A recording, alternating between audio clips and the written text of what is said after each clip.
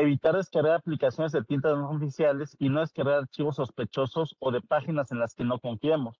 Compren sitios seguros verificando dónde eh, realizaremos las compras y de no hacerlo, no introducir datos financieros utilizar más de un método de autenticación para acceder a las cuentas. Esto es a través de las propias medidas de seguridad de autenticación. También cuidar puertos USB y cualquier tipo de dispositivo con el cual nosotros nos conectemos, incluyendo las redes Wi-Fi o los medios en los cuales nosotros estemos eh, llevando a cabo la interacción y proteger los dispositivos por medio de la instalación antivirus, anti-spyware, navegación segura, firewall y verificación de dos pasos.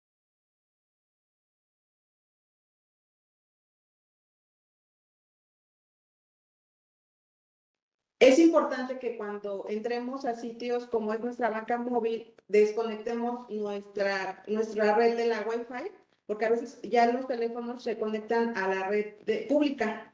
Entonces, ahí también es un punto muy importante donde nosotros nos volvemos vulnerables o nuestros datos, sobre todo nuestros datos personales, se vuelven vulnerables. Entonces, conectarnos a través de nuestros datos, tener acceso a esos sitios tan, este, tan delicados porque tienen datos muy, muy específicos. Nuestras redes sociales son del día a día de nosotros, pero tenemos que tener mucho cuidado en la configuración, en qué es lo que compartimos cuando salimos de vacaciones, cuando queremos adquirir este, un producto, este, saber bien en qué sitio nos metemos, sitios oficiales, descargar aplicaciones de los sitios oficiales. Y es, sería en esencia esa parte que tendríamos que cuidar todos.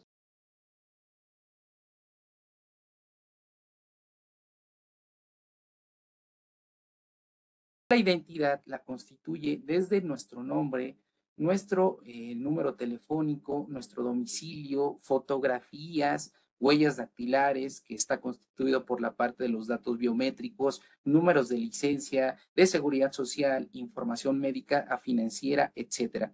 Y con esta información, eh, las acciones que realizan los, los ciberdelincuentes, por una parte puede ser contratar créditos eh, o servicios a nuestro nombre, esto sin duda alguna nos puede provocar serios problemas financieros. ¿Por qué? Porque estamos adquiriendo créditos que nosotros no solicitamos. Y aquí voy a resaltar algo muy importante y es consultar nuestro reporte de crédito especial por lo menos una vez al año.